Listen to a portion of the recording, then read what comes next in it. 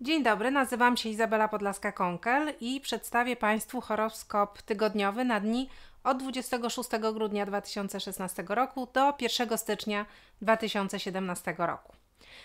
W tym tygodniu mamy dużo wydarzeń na niebie. Y, w drugi dzień świąt Jowisz ustawi się w opozycji do Urana. Może nie wpłynie to na takie codzienne nasze sprawy, ale właśnie podczas świąt, w drugi dzień świąt, możemy y, snuć jakieś dalekosiężne plany, mieć ważne narady rodzinne i przede wszystkim też y, drugi dzień świąt będzie bardziej aktywny. Będziemy chcieli bardziej spacerować, robić coś, a nie siedzieć tylko za stołem. We wtorek po świętach będziemy już chcieli też dużo z tych planów zrealizować, ponieważ we wtorek Merkury ustawi się y, w sekstylu z Neptunem i z Marsem, a to oznacza, że możemy liczyć na ciekawe wiadomości, okazje do pójścia gdzieś, pojechania i też bardzo dużo czeka nas różnych ciekawych rozrywek. W środę Słońce w koniunkcji z Merkurem w znaku koziorożca sprawi, że będziemy bardziej poważnie podchodzić do spraw zawodowych i codziennych. Możemy bardziej chcieć uporządkować różne sprawy. Jeszcze przed końcem roku warto tradycyjnie oddać wszystkie długi, pogodzić się z różnymi ludźmi i też zrobić bardzo ważny plan na przyszły rok. Środa jest to idealny czas, ponieważ będziemy mieli bardzo ciekawe, a nawet nieraz genialne pomysły za sprawą właśnie tej koniunkcji Słońca z Merkurem. To jest też bardzo dobry dzień, żeby spotykać się na ważne mm, rozmowy, wysyłać maile, ważne listy. Mimo, że jest taki troszeczkę luźniejszy tydzień teraz, e, to nie zapominajmy, że planety wspierają nas w różnych ważnych, y, ważnych poczynaniach zawodowych, szczególnie, ale też naukowych. E, w czwartek nów e, w znaku koziorożca, nów księżyca sprawi, że będziemy bardziej refleksyjnie nastawieni do życia, do, do ludzi dookoła. I w czwartek to jest też taki czas, kiedy będziemy chcieli bardziej spokojnie spędzić czas. E, nie, na, nie spinajmy się, nie róbmy niczego na siłę. Podczas nowiu bardziej odpoczywamy i nabieramy sił do tego, co będzie dopiero przed nami. A przed nami Sylwester, który wydarzy się w tym roku w sobotę.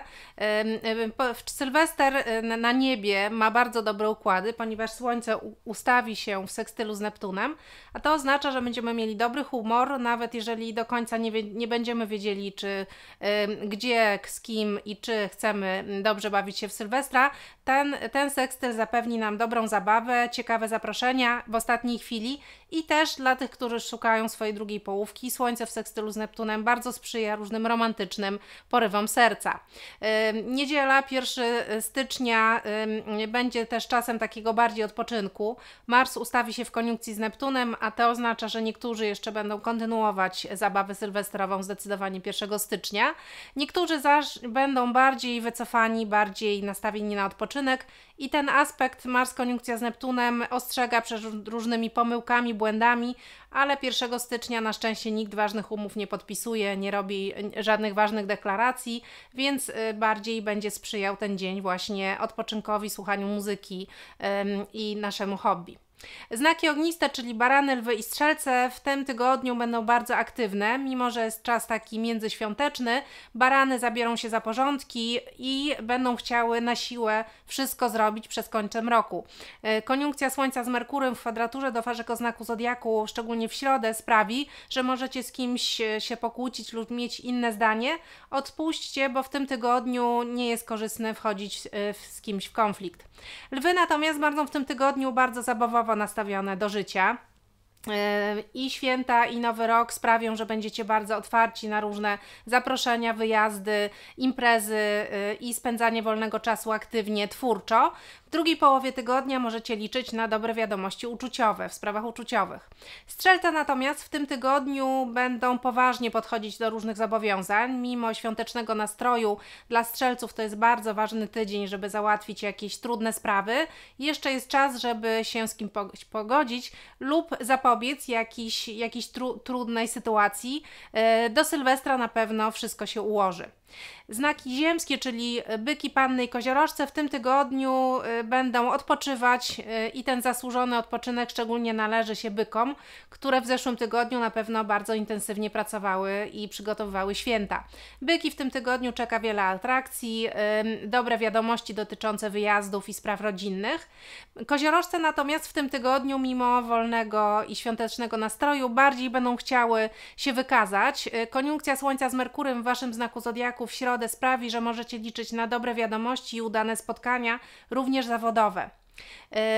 Pan, e, panny natomiast w tym tygodniu powinny odpocząć. E, Saturn cały czas działa kwadraturą na wasz znak zodiaku, więc jeżeli jest okazja do wzięcia wolnego, wyjechania gdzieś e, i od, od, odpoczynku z dala od zgiełku codziennego życia, to dla pani jest świetny tydzień, żeby to właśnie zrobić. Znaki powietrzne, czyli bliźnięta wagi i wodniki w tym tygodniu będą bardzo zajęte swoimi osobistymi sprawami.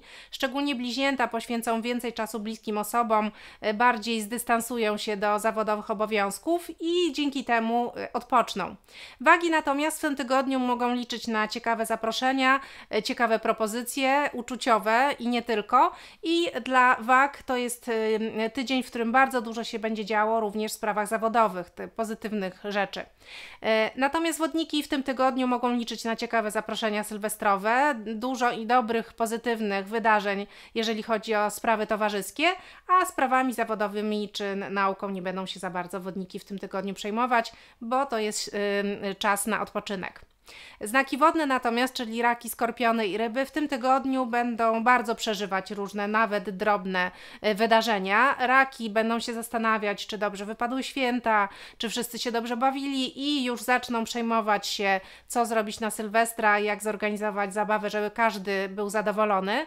Dla raków rada od drugiej, drugiej połowie tygodnia bardziej zajmijcie się sobą, a w środę Słońce w koniunkcji z Merkurem naprzeciwko Waszego znaku Zodiaku e, zapowiada dobre wiadomości, a nawet przyjazd y, czy odwiedziny kogoś sympatycznego.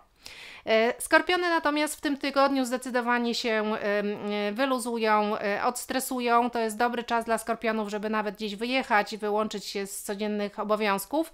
W drugiej połowie tygodnia bardzo dobre informacje dotyczące wyjazdów lub jakiegoś planowania na przyszły rok, jakichś ważnych rzeczy. Ryby natomiast w tym tygodniu będą troszeczkę podekscytowane. Mars, który od zeszłego tygodnia przebywa w Waszym znaku Zodiaku, sprawi, że nie będziecie chcieli sobie tak tylko leżeć na kanapie, będziecie aktywne i e, w sprawach zawodowych, i sprawach uczuciowych. E, za sprawą Marsa w tym tygodniu może dużo się wydarzyć w życiu ryb, więc e, dopóki Sylwester nie minie, nie podsumowujcie jeszcze 2016 roku, bo jeszcze wszystko się w tym tygodniu może zdarzyć. Y, wszystkim naszym y, internautom, naszym y, fanom naszej strony czary.pl dziękujemy za cały rok bycia z nami i życzymy Wam udanego i wspaniałego 2017 roku, a po więcej horoskopów i wróżb również na 2017 rok zapraszamy na naszą stronę www.czary.pl.